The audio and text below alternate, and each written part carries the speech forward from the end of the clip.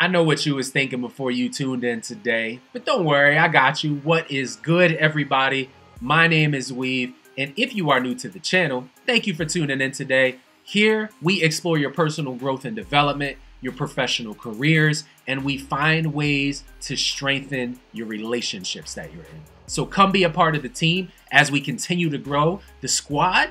Be a part of it.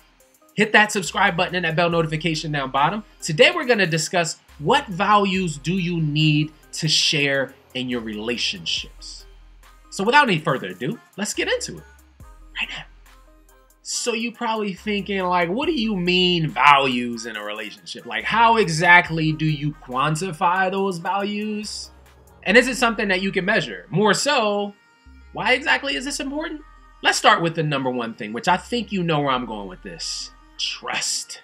Now, all of us have had a past different partners, different relationships, different disagreements, and different points of view. Now, trust might seem straightforward to you, but there are levels to trust, in my opinion. Just because you've had someone in your past that was unfaithful to you, lied to you, done you wrong, that's no reason for you to carry it over into your new relationship. And if you're someone who does, then do me a favor don't get into an exclusive relationship. And the part about trust that sometimes takes a back seat is your self worth. Because people who are jealous are usually uncomfortable in their own skin. It's their problem. They feel less than because they a lot of times have low self esteem. The ways we combat that is through your self improvement. And I can't preach to you enough that if you are someone who is an insecure individual and you just feel like you can't trust someone in a relationship, then stay single and ready to mingle. The second value is your lifestyles. Your lifestyles don't have to complement each other, but more often than not, your principles and your values definitely do. They need to be aligned in some way. Are you a partier? Are you huge on family? Are you tight with friends and hang out with them often? Are you into health and fitness? Are you a vegetarian? Look, you and your partner don't have to be carbon copies of one another, but how far are you willing to compromise the things you grew up on? Like, where are you going to live? How are you going to spend your weekends? When can you align in your lifestyles? Your relationship, your connection can become something so much stronger. More importantly, I have a better understanding of the compromises if I'm getting into that relationship or lack thereof that I'll need to make throughout the course of our journey together. Third is how you deal with conflict. How do you deal when both of you have conflicting views? How do you both deal with the issues that are going to arise in your relationship? Because reality is, you're not going to agree on everything, and you shouldn't.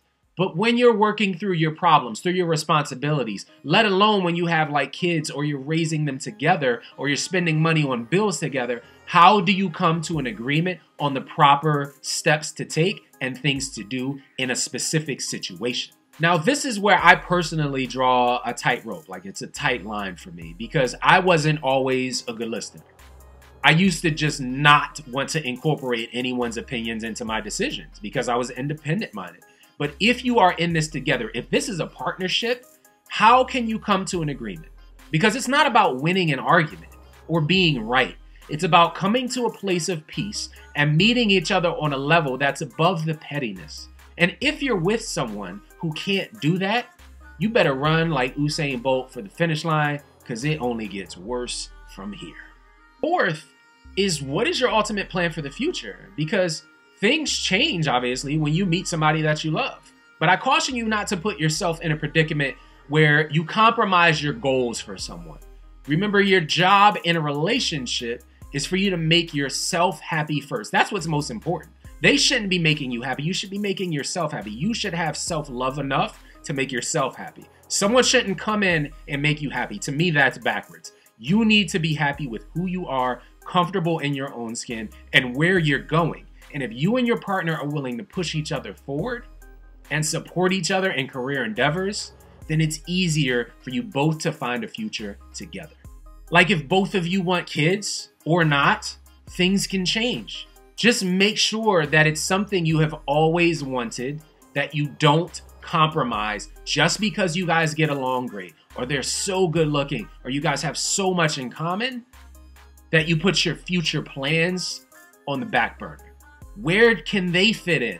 Where do you fit in? And if they don't fit in, then more than likely you'll need to adjust your approach and probably find someone who will join you on your life's journey, on your conquest by your side to help push you forward.